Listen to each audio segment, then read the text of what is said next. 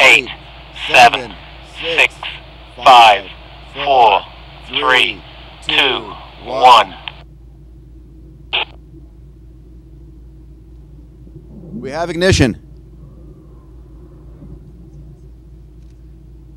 Oh, Safety, safety, safety, level one. Armadillo will handle emergency on the pad. Not sure, but we had uh, we had an abort there. we hear an abort.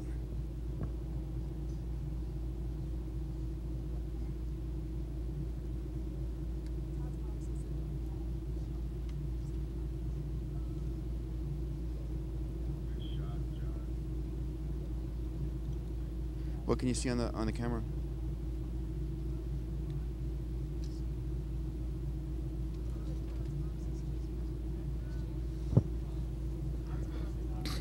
We could hear what sounded like a hard start on the engine, uh, a plume of smoke, which is really the uh, engine basically blowing a lot of Small dust. brush fire there, but it's been handled by Armadillo crew. Clear on the nozzle.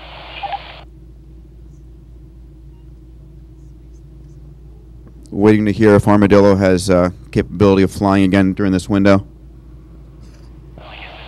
The uh, truck is moving back in. Armadillo uh, ground operations are moving back in to probably inspect the uh, and safety the vehicle. Okay, emergency status is the vehicle is over it on its side and it is pressurized. The uh, Armadillo crew is, Pat crew's on the scene, and we are going to uh, depressurize and put her upright again for a detank depress. We'll keep you apprised. So welcome back to our, our webcast. Uh, we've uh, pleased John's willing to speak uh, candidly and tell us what happened and what his plans are. So, John, just gonna turn it over to you. Okay, so we had a burn through on the engine. One of the things that we were concerned. Okay, we had a burn through on the engine, which caused it to shut down just as it was throttling up. And this is one of the six known problems that we had when we came here. Uh, we've had the problems in this entire last week of testing with the valve sometimes not move, the fuel valve sometimes not moving. We made some adjustments to things uh, and swapped actuators to hopefully get rid of that. And we had done three tests on this particular vehicle before we came here, but we actually saw this exact same problem that almost scrubbed our last flight yesterday on the module, where we had only seen it previously at the ignition point, where that was the last ignition refire there, where we command it to uh, to start opening the valves, and only the LOX valve opens, and the fuel valve opens like late or slow. And we had only seen this problem before during that sequence, but at this point, the ignition went fine. It came up to idle, and then when we throttled up to full uh, full throttle, the LOX valve moved fast and the fuel valve moved slow, so it went really lean and burned through the side and pitched it over. So we were looking at that, and we have everything that we need if we wanted to go ahead and make another flight, but the problem is this is something that we saw this problem last week. We've been fighting with it for the last two weeks on here. Uh, it almost caused a scrub of the last flight there.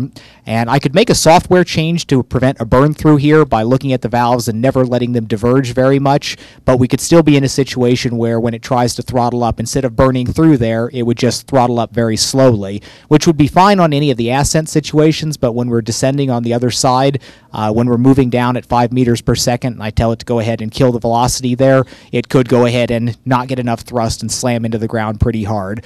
So there would be a a failure scenario there that that's pretty credible. We're concerned about it, so we are deciding not to go ahead and fly in the next window uh, or uh, either of the windows today because we we clearly have an issue here, and we wanted just some more time to be able to get to the bottom of it. Uh, we were we were testing all the different possible electronic side things, thinking it might be actuator things, but there's clearly a systemic problem here that we need to get to the bottom of. And we, we understand the symptoms perfectly, and we believe we have a reproducible test case for it that we can do on the bench there, but we do not understand the cause of the problem here. So it's something that we just need to uh, need to fix before we wind up flying again. But the vehicle's still okay. It bent one pipe a little bit, but uh, it actually was holding pressure on its side fine there when we detanked it.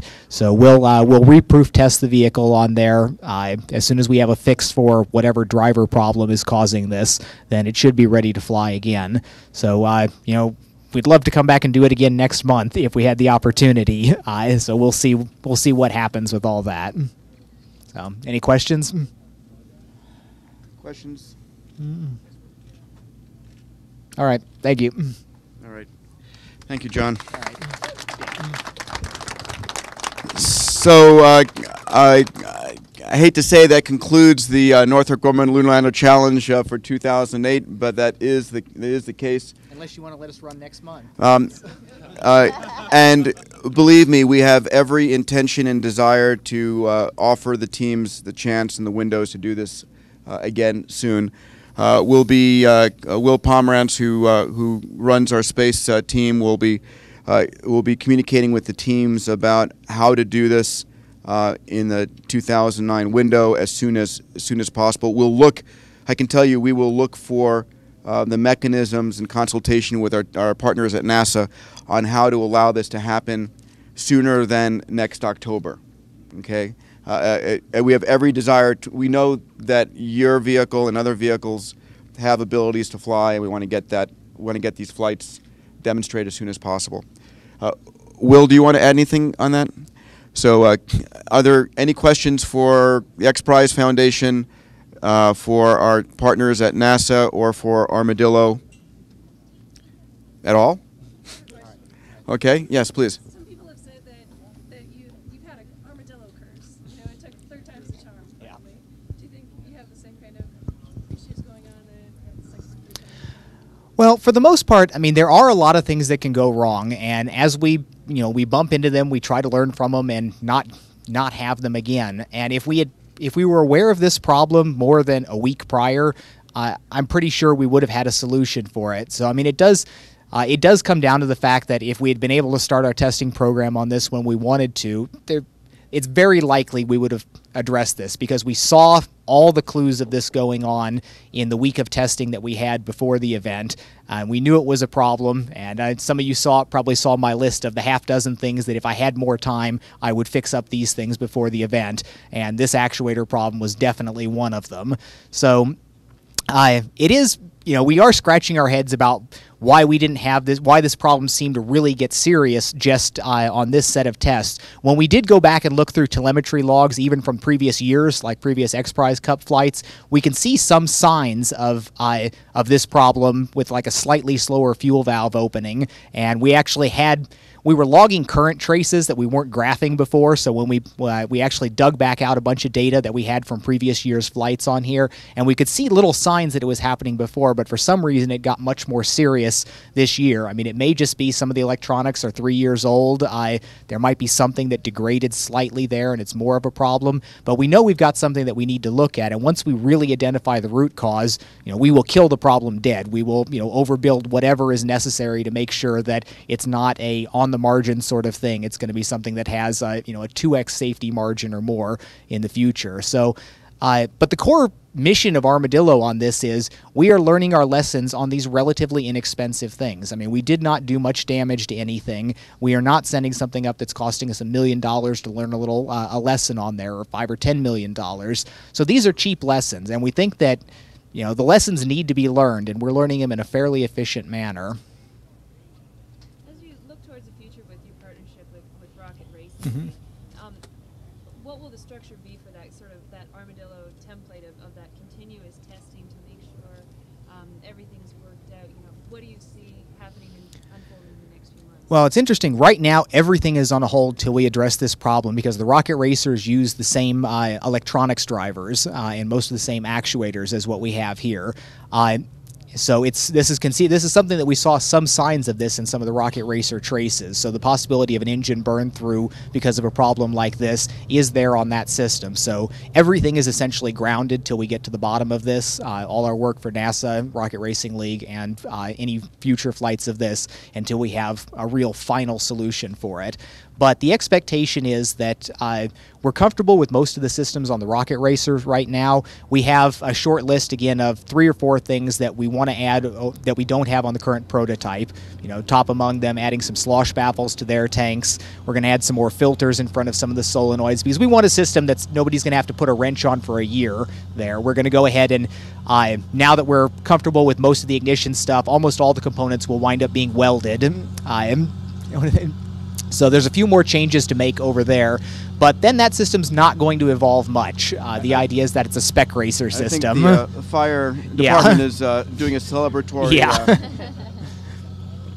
I but the expectation then is that we take the similar designs, we're making a couple tiny changes to be the baseline for our suborbital vehicle development, which is almost exactly what we've got here with like two more element pairs, which is about what we max out this design at. Uh, we're investigating some new manufacturing capabilities like a rapid prototyping investment casting for the, the chambers uh, and things like that. But we're we've got a pretty full plate. We've got our NASA methane work to finish up uh, here. Then we've got the, the, next two prototypes of the rocket racers to go. Uh, and when windows open for the Lunar Lander Challenge, uh, we will probably drop you know drop what we're doing, get the you know, a week's worth of testing in after we fix this stuff, go back and take another stab at this because all the numbers are there. We just need to make sure that everything works right and reliably. Um, I, feel like a game show host when I say, uh, you know, three hundred fifty thousand dollars, not a bad uh, walk away. and we hope you'll return next time to go for the million dollar award. thank you, John. And thank you to the whole Armadillo team, our partners at NASA, our, our friends here in Las Cruces, and uh, the X Prize team for your hard work. And of course, Northrop Grumman. Thank you.